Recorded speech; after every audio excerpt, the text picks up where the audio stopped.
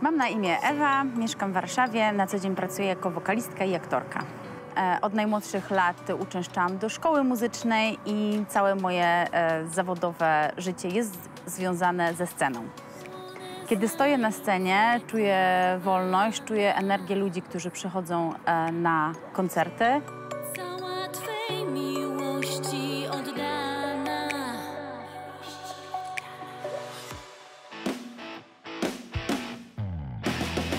Jedną z moich pasji jest e, motocykl, który daje mi po pierwsze wolność, po drugie ładuje mnie bardzo pozytywnie na e, każdy następny dzień. Jak mam handrę, przejadę się motocyklem, to od razu wraca do mnie dobra energia. Kocham psy i dlatego angażuję się w wszystkie możliwe akcje charytatywne bądź też wspierające adopcję. I uważam, że e, najlepsze psy to są te, które pochodzą ze schroniska, więc nie kupuj, adoptuj. Chodź. Cześć Ewa, jestem Gabi. Cześć, miło mi Cię poznać. Ewa, bardzo mi miło. Bardzo się cieszę, że przyjęłaś zaproszenie do naszego programu. No i cieszę się, że nie jesteś sama, tylko w towarzystwie tak, Tak. zacnym. Kto to jest? Rudzia i Niunio.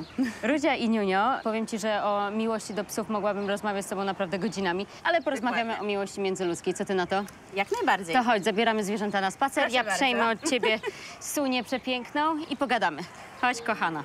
Idziemy. Och, jejku, nie bój się, chodź, chodź. Dobra, Ewa, jak to dotychczas było u ciebie z facetami?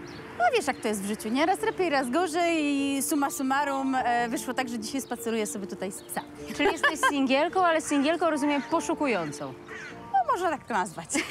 To jaki ten facet powinien być dla ciebie? E, przede wszystkim kochający zwierzęta. Słuszna uwaga. Także myślę, że psy bardzo szybko wyczułem, czy to jest dobry człowiek, także chyba to jest e, odpowiednie podsumowanie tego, co chciałam ci powiedzieć. Słuchaj, to w takim razie takiego faceta szukamy. Dobrego faceta, który kocha zwierzęta. Dokładnie tak.